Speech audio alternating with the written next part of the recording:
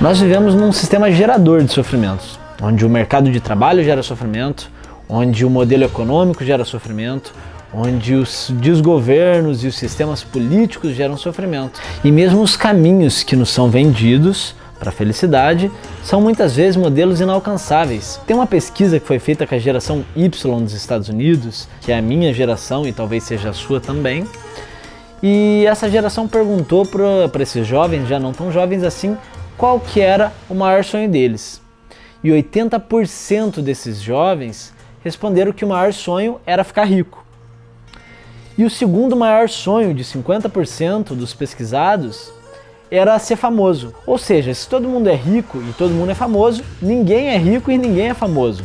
É uma conta que nunca vai fechar. Mas o que é felicidade então? E como atingi-la? O que é esse sentimento que tão facilmente nos foge aos dedos? Todos nós desejamos a felicidade.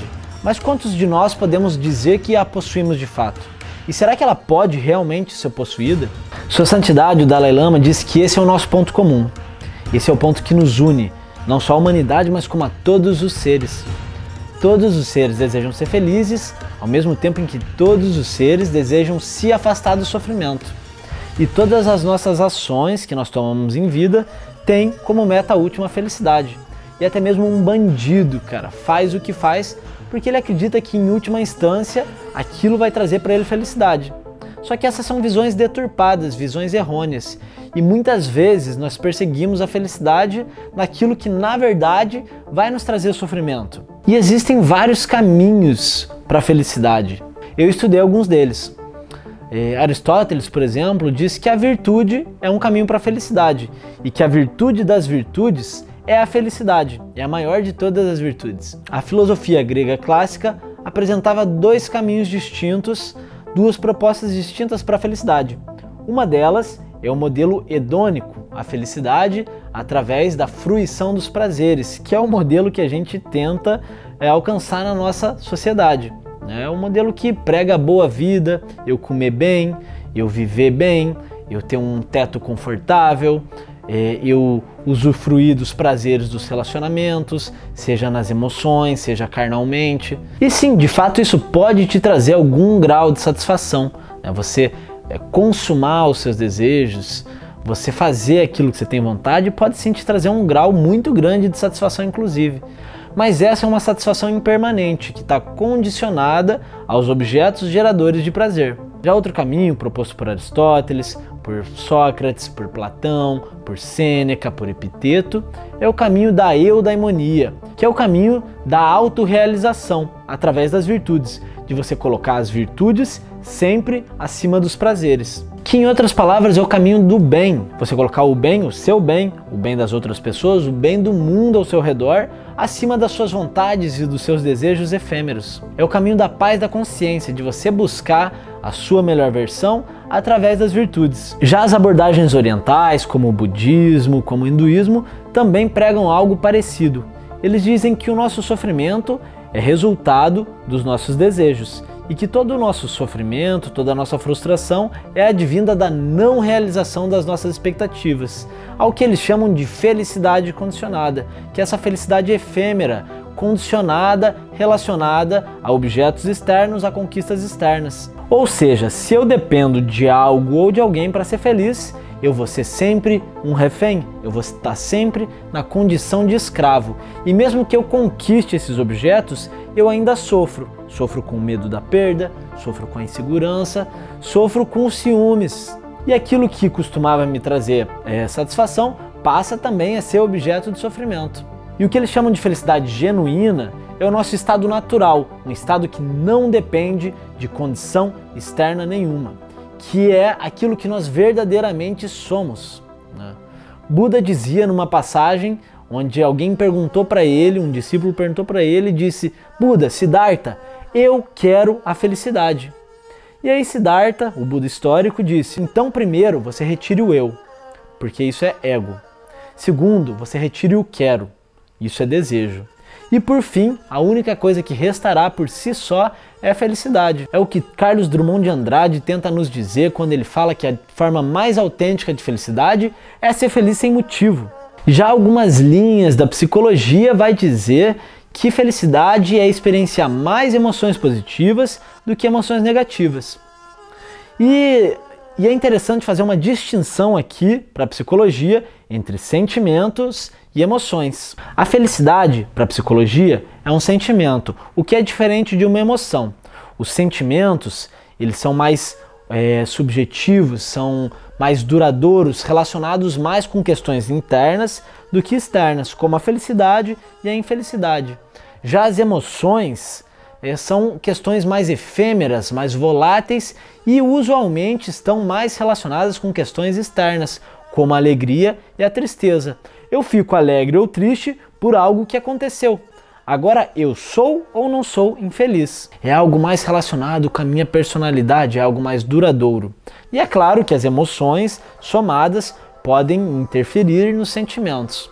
Já a neurociência vai relacionar a nossa felicidade, a nossa configuração cerebral e a química do nosso cérebro. Então, para a neurociência, a felicidade está relacionada com hormônios como a serotonina, como a dopamina, como a ocitocina. E eles vão propor caminhos para a felicidade, como você criar gatilhos ou criar práticas que ajudem a liberar os hormônios que promovem a felicidade, ao mesmo tempo que a gente é, bloqueia ou evita a propagação de hormônios que estão relacionados com a ansiedade e com o sofrimento, como o cortisol, que é o hormônio do estresse. E você usar algumas ferramentas, algumas técnicas para a liberação desses hormônios, como por exemplo, abraçar alguém libera ocitocina, que por sua vez gera uma reação em cadeia que também libera serotonina e dopamina. Correr libera serotonina. Traçar planos e objetivos libera dopamina. E embora existam vários caminhos, técnicas e ferramentas que possam contribuir na nossa jornada pela felicidade, é um caminho que é único a cada um, que a cada qual vai ter que descobrir aquilo que funciona e que não funciona para si. E eu faço da minha vida uma constante busca, uma constante pesquisa sobre a felicidade e talvez eu só a encontre quando de fato eu parar de procurá-la. E, e talvez eu só encontre em absoluto quando eu de fato parar de procurá-la. Porque se a felicidade for algo distante da gente, um objetivo a ser conquistado, ela sempre vai estar tá longe. Né? E a gente nunca está lá, a gente sempre está aqui.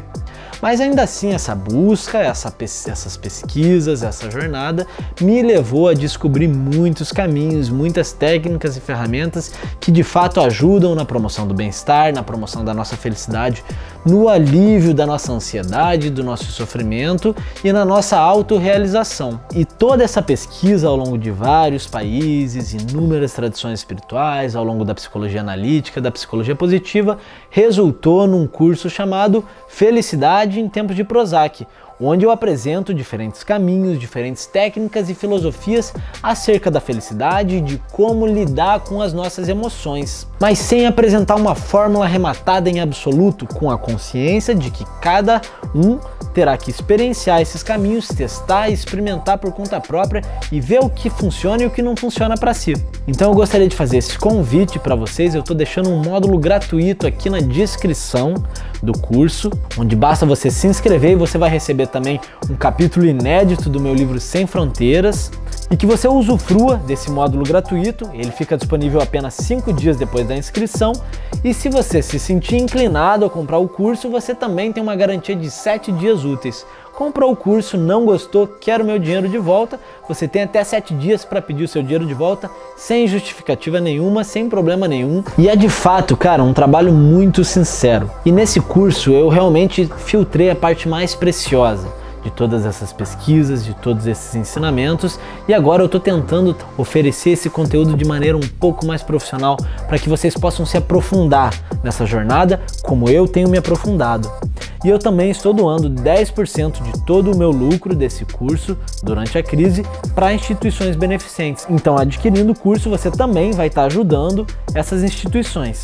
E você pode assistir o módulo gratuito sem comprar o curso, sem problema nenhum. Mas quem comprar o curso também está recebendo uma série de materiais gratuitos. É, podcast sobre relacionamentos e felicidade, uma meditação conduzida, a minha palestra no Vai Lá e Viaja e outros capítulos do livro Sem Fronteira e mais outros bônus. Então faço esse convite para você conhecer o curso, para você se aprofundar um pouco mais nesse tema. E se você está chegando agora aqui no canal, não conhece a minha história, não conhece as minhas pesquisas, não conhece a minha jornada, se inscreve aqui, clica no sininho, que aqui toda semana eu vou compartilhando algo que eu acredito que de fato possa colaborar com a sua vida, ainda que não seja de uma maneira tão aprofundada como no curso. Lembrando sempre que eu não sou um professor, mas apenas um buscador que divide os bons tesouros que o caminho me apresenta. Então se inscreve lá no módulo gratuito e espero que você aprecie esse curso tal como eu esculpi, com atenção, mas também com calma.